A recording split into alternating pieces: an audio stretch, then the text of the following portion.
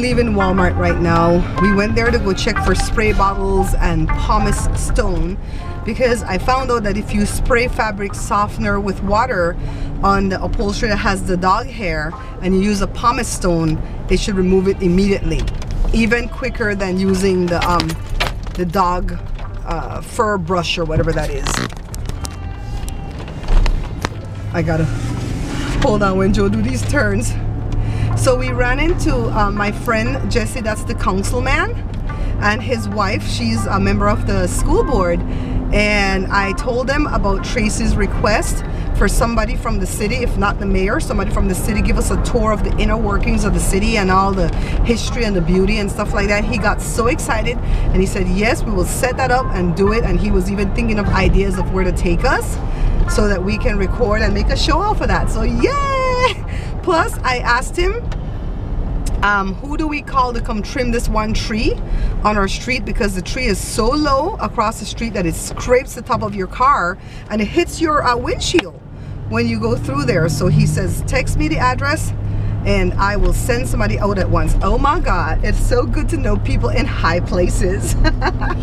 Today is uh, Friday, October the 27th and we did get a settlement from State Farm and I am so grateful with what the set what the settlement is. Hold on, let me get my phone. Hold on. That phone call that interrupted us just now was from my Aunt Lita. I was almost home anyway, so I just finished up my phone call with her, put the few items away that I picked up at Costco, and now here I am. So let's get back into the conversation that I was having in the car with you guys about my friend slash councilman, Jesse. I met Jesse and his wife in Walmart we got to talking about Tracy's request, you know, asking him if he would give us a tour of the city because he's a city council member. You know, we don't have to have the mayor. We could have just somebody else on the team. He was excited. Let me tell you, I think this is something that will happen and happen soon because he was super excited and he says, let's plan this. I'm going to go home and think up ideas of where I'll take you. And he was making suggestions of places I wasn't even aware of. And I think this is something that will happen. So I'm going to keep up on it, okay?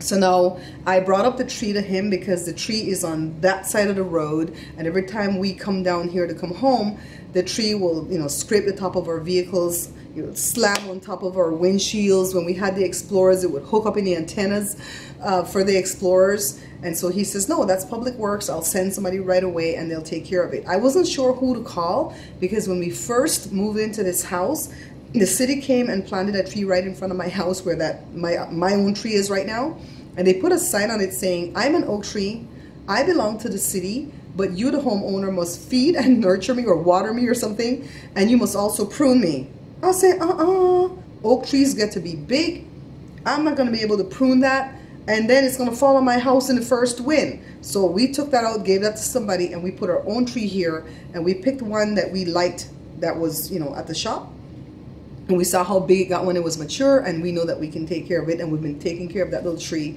since day one and I'm pleased with that. So somebody's gonna come cut the tree, all right? Anyways, let me tell you what happened at State Farm today. Got there right on time. They took me in right away. The guy assessed everything. It was really nice. He came back and showed everything that was wrong and there was a lot of damage to the vehicle as you guys could guess thank god there was nothing wrong with the frame the frame is not bent but with the estimate he gave me and the payout that they gave me now I can take that money and do what I want to do with it or I can take it and fix the car so they gave me enough I'm not going to give you guys the dollar amount here because I don't believe in putting that kind of stuff out here publicly so people can hold you to it but what they gave me I'll be able to uh, buy back a car for um, Josh a car from the auction of course not a car not a car from a dealer or anything. And I am so excited about that because Joshua forfeited his Maxima that he bought on his own since 07 he's owned that car. And he for forfeited that earlier in the year when we started doing the business because the Grand Prix was slow in selling. And then he kept the Grand Prix for a while and then he forfeited the Grand Prix you know to pretty much feed us and pay bills. And because of that he did not go back into school this last quarter because they go for quarters every uh, they go for three months at a time. So he did not go from August to what the end of December I think it ends or in the middle of December it ends. And he was going to take an online course because he couldn't you know go to school because he didn't have a car he was going to take an online course but then he found out just taking the one course they would give him less money for the grant and he would have had to come up off of a thousand dollars to pay for that one course so what he's going to do is take his full 12 units He's gonna sign up right here November 4th. And he might have to come up off of three or four hundred dollars to pay for those classes, so that's way better than a thousand.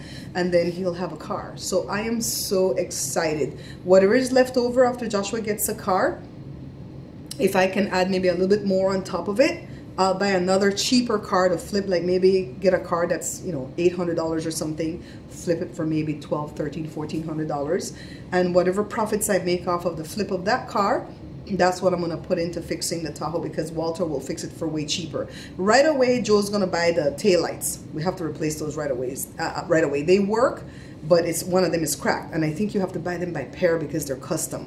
So we're going to replace that right away and then the rest of the stuff Joe will do after we flip a car off of this money.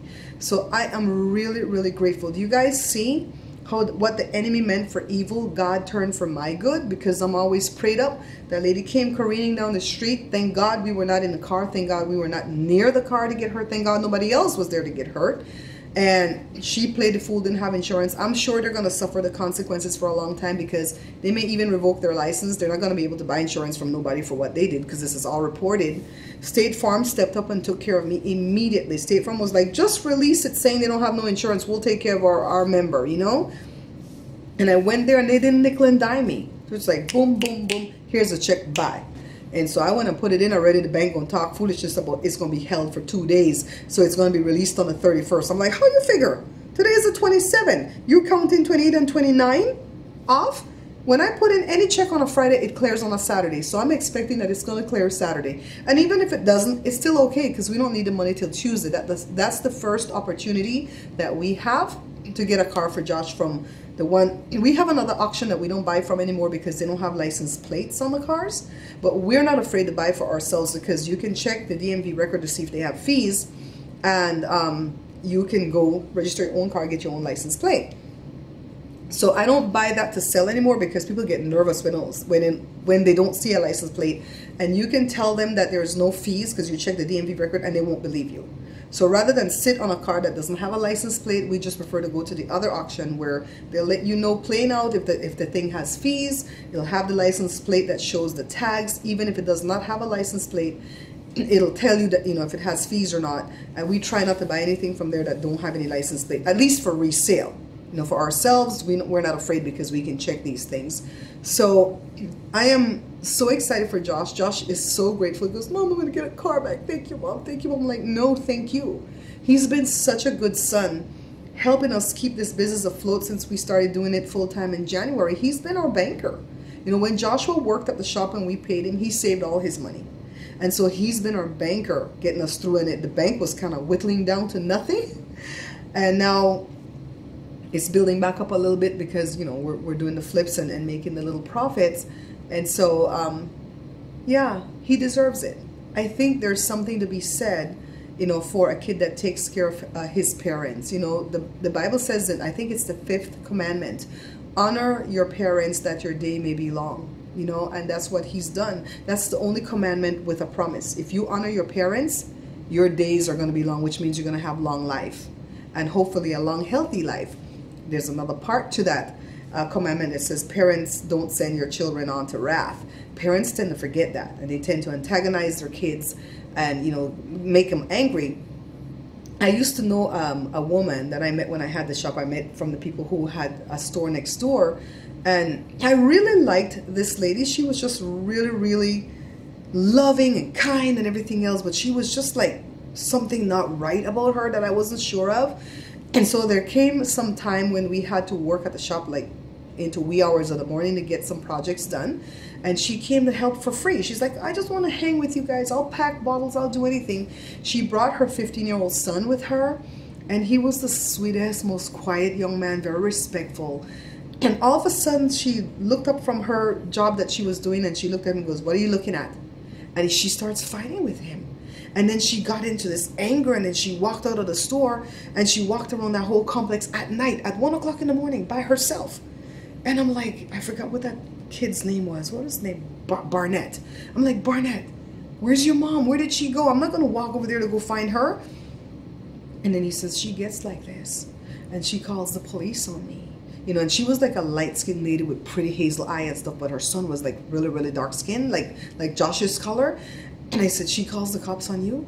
Does she see how dark you are? They're gonna shoot you. And he goes, I get so scared. I'm not even doing nothing. I'm in my room doing my homework. And she gets mad. She starts screaming at me for certain things. And then she calls the cops, and the cops come out, and then they have to calm her down. I'm like, oh my God. So I remember when the lady that I met this lady through, one of her daughters had taken in Barnett for a while and said, you know, I gotta protect him. He's such a good kid. And so um, that I, I remember that commandment when I, I, I would tell her because she would say that the Lord says, honor your parents, honor your mom. I'm like, he's not disrespecting you though. Come on. I said, that um, commandment also says, do not send your kids on to wrath. And she didn't know that part, you know, but I think she had mental issues. But I always remember her and that kid when I think about that commandment. So I am so grateful I have an attitude of gratitude right now. I'm so grateful I was taken care of by State Farm. I will sing State Farm's praises from the highest mountaintop. I've been with this company since 1991. I have everything with them. My sister has my same agent because he's so good. And if you guys are within this vicinity or within the LA area vicinity and you want a good agent, tell me and I'll hook you up with my agent over here because he is good. He's a good man. He takes care of us all the time and I've never had to squabble or get gypped by State Farm.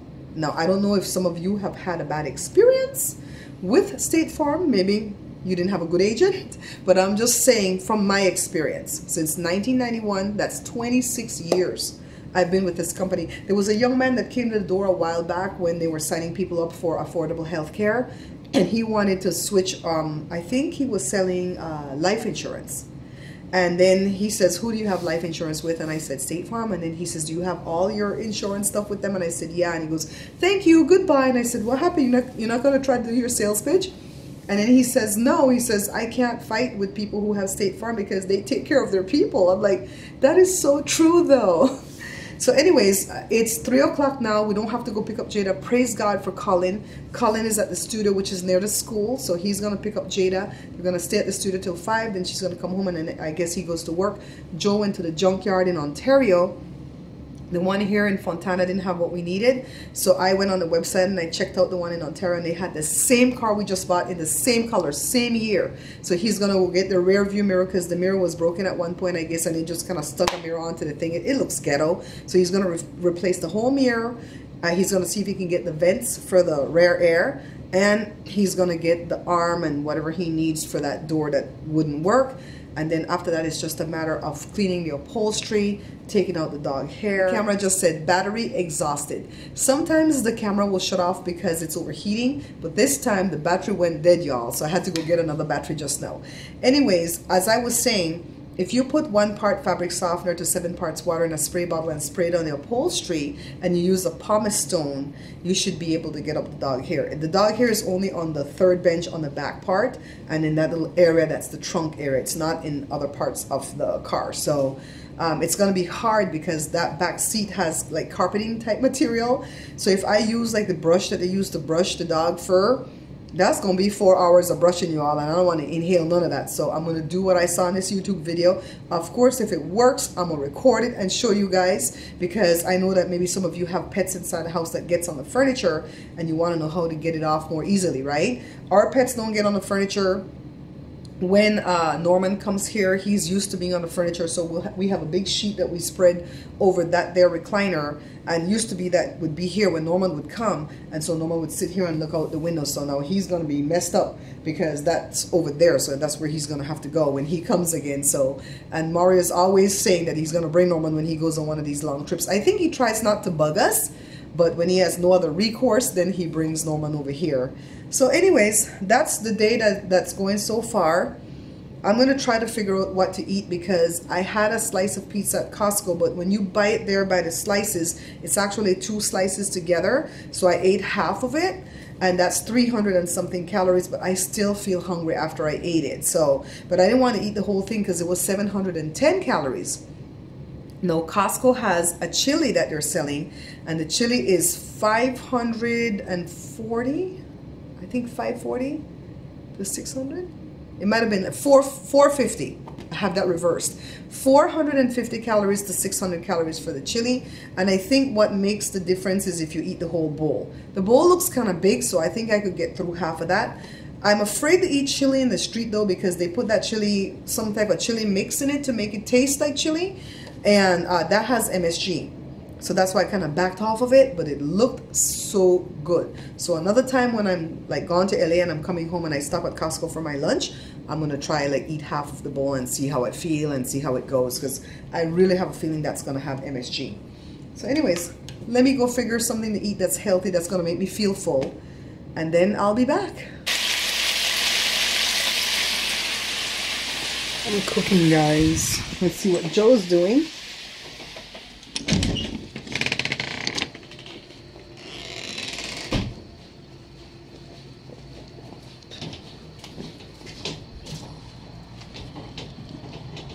You guys see how nice this car is?